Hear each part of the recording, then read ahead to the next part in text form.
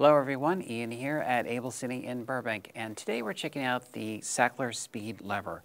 What the SpeedLevel does is it replaces a traditional tie down for 100 millimeter fluid heads.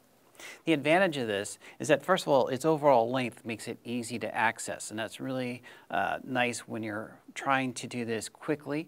The other part of that equation is that when you squeeze this together it's a very subtle, very easy operation and I can very subtly make an adjustment, unsqueeze it, and now it locks it back in place.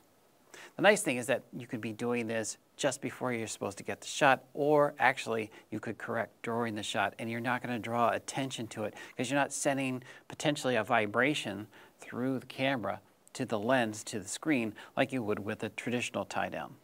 So a very easy, quick way to work, and it has a weight capacity of 55 pounds.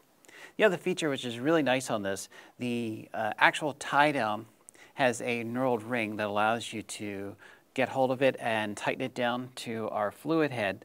And then once it's tightened, I actually can squeeze this in and now I can orient the lock levers to wherever I want.